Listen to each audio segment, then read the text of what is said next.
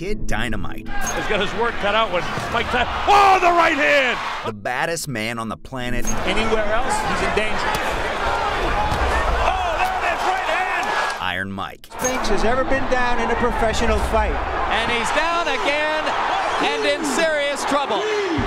These are just some of the nicknames that turned the boxing world upside down late in the 20th century. Marvis must move or we're going to be out of here very, very quickly.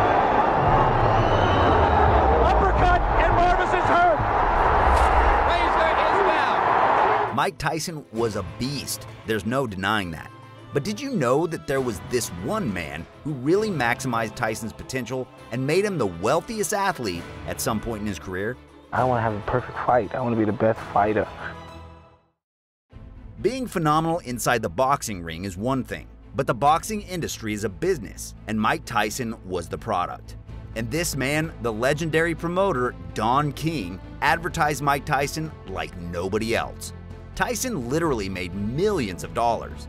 If Don King helped Tyson secure his bag, why did he end up being hailed as the most evil man in boxing?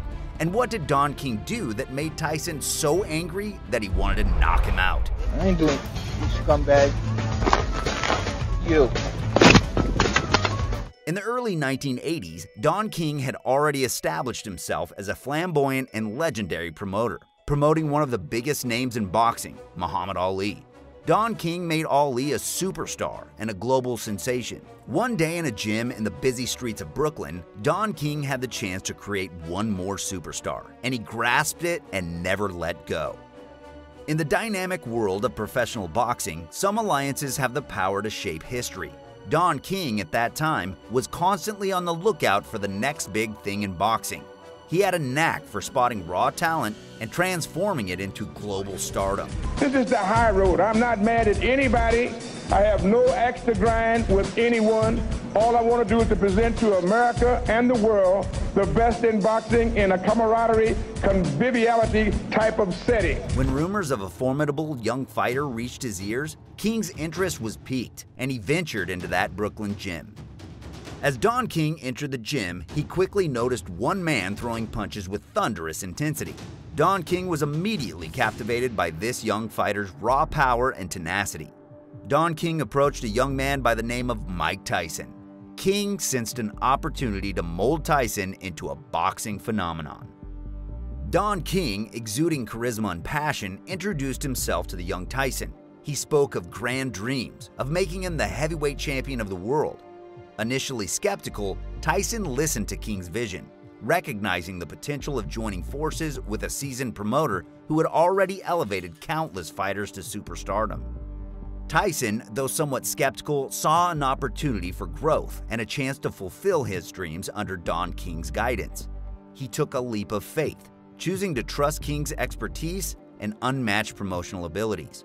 It was a pivotal moment as the paths of these two boxing icons converged, setting the stage for an extraordinary partnership. Since then, the boxing world has flipped upside down.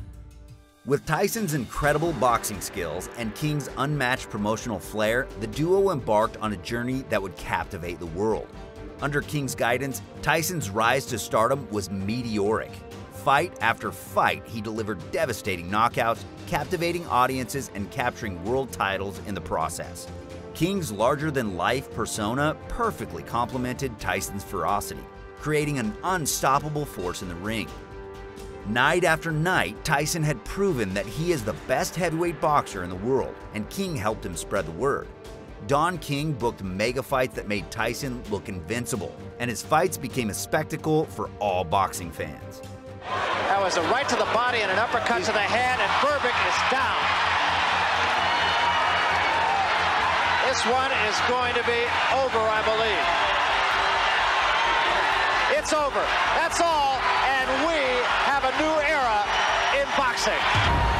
At the age of just 20 years old, Mike Tyson claimed his first ever heavyweight title, becoming the youngest boxer ever to win a heavyweight title, a feat that still stands up to this day. For three straight years, Tyson reigned supreme, with King in his corner, selling his fights and making him a global superstar. In 1990, Mike Tyson became the wealthiest athlete in the world, overtaking global basketball sensation Michael Jordan. However, despite all of Mike Tyson's success, his relationship with Don King started to have its challenges when Tyson's personal and legal troubles became a constant backdrop to their success. His tumultuous relationships, legal battles, and notorious outbursts outside the ring often overshadowed his boxing achievements. But through it all, Don King stood by Tyson's side, becoming his staunch advocate and defender. Give him his constitutional right. Mike Tyson is now synonymous to due process. The Constitution of this great United States. We're not arguing whether he's guilty or innocent. We're saying that due process take its course. King's unwavering support and belief in Tyson became a pillar of strength during some of the darkest moments in the fighter's life. The bond between Don King and Mike Tyson faced its most significant test when Tyson was convicted and sentenced to prison in 1992 for rape charges. Even though there was a change of champion this year in boxing, the biggest story by far did not take place in the ring. It took place in a courthouse in downtown Indianapolis, where the former heavyweight champion Mike Tyson lost the biggest fight of his life to a 108-pound opponent. Absolutely no thoughts about Tyson. He's a common criminal who's getting what he deserves. He's a rapist. He belongs in jail. It was a devastating blow for both men, and many believed it marked the end of Tyson's career. However, King remained loyal to Tyson, visiting him in prison and continuing to support him throughout his sentence. This unwavering dedication not only showcased their bond, but also helped reshape the public's perception of Tyson. Upon Tyson's release from prison in 1995, Don King played a pivotal role in rebuilding his career and reputation. Together, they orchestrated Tyson's comeback, with King skillfully promoting his fights and strategically positioning him to regain his status as one of the sport's most feared and respected athletes. Introducing the one, the only Mike Tyson.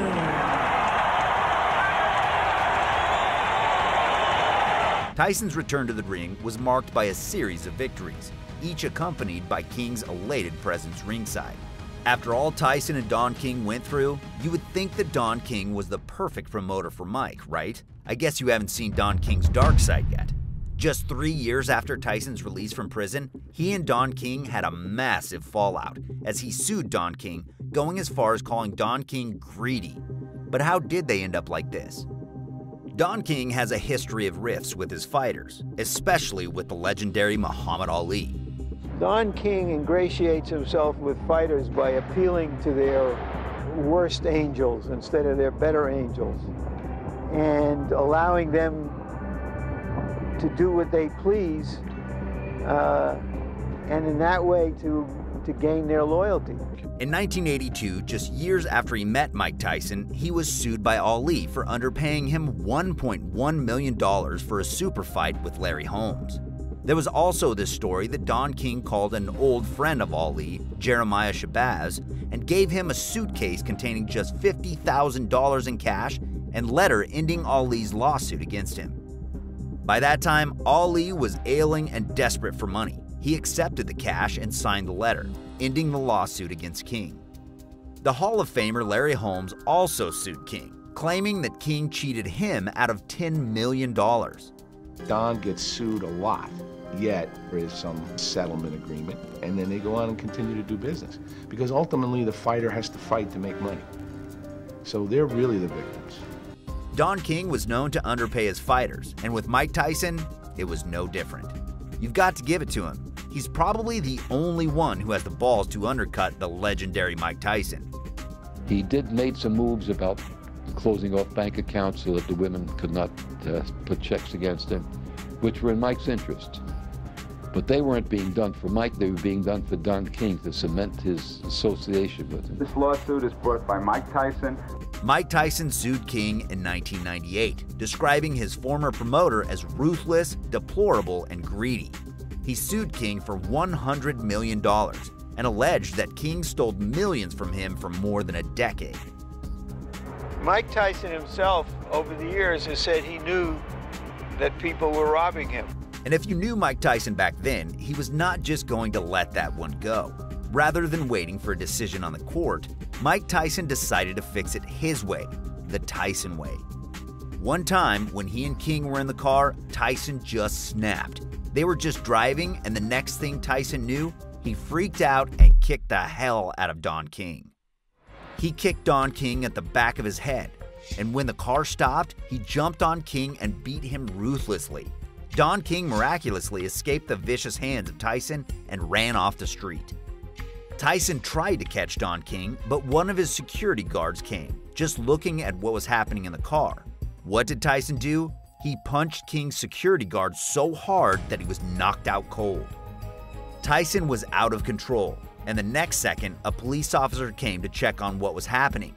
The funny thing was that Tyson revealed that he had cocaine and marijuana in the car, but the police officer did not bat an eye and drove them to the nearest hotel. Lucky break for Tyson, escaping yet another time in jail.